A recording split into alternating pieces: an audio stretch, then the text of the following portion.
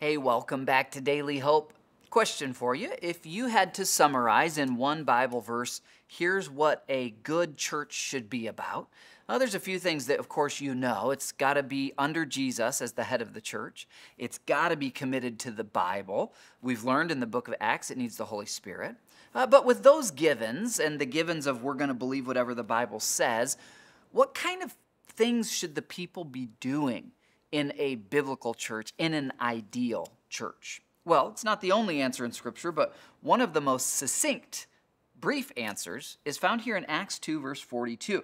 And if you were with us yesterday, you learned that in one day the church grew from 120 people to 3,120 people. Well, if you're the apostles, what are you going to do? How are you going to organize 3,120 people? Here's what the Holy Spirit leads them to do Acts 2, verse 42 all the believers devoted themselves to the apostles' teaching. Okay, so that's the first, the teaching of the Word of God.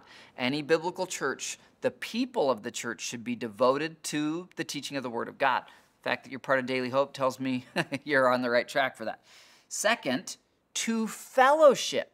What is fellowship? I like the old definition. It's two fellows in a ship.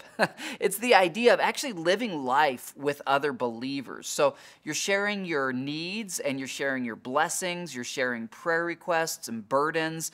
You're weeping together, you're laughing together, bringing each other meals when you're sick. That's a key part of what God wants you to experience. So we've seen two attributes so far of a biblical church in this early model uh, committed to the teaching of God's word which, by the way, was happening in the temple courts. So that was a big building. There's nothing wrong with big buildings as long as it's all about Jesus and His Word, okay? So they're committed to the teaching of God's Word. 3,000 people are showing up for that.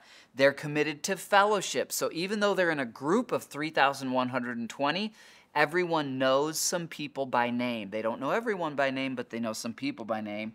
Third, the sharing of meals which included the Lord's Supper, taking communion, but actually sharing meals with other believers. This is part of God's plan for you. And then, fourth, prayer. A biblical church is a praying church. So this story continues, but I just want to ask you today which of those four things do you most need in your life right now? Um, do you need to be committed to weekly worship in some gathering at a church building most likely, or you can join us online where the Word of God is being taught. Second, do you have other Christians who really know you? Uh, again, if you don't, um, we have groups that meet fully online if you're in another state. We'll put a link for that at the end of this. Third, are you eating meals and taking communion with any other believers? And then fourth, are you committed to praying, uh, praying that God will do his work in and through the church? Well, I'll see you tomorrow for more Daily Hope.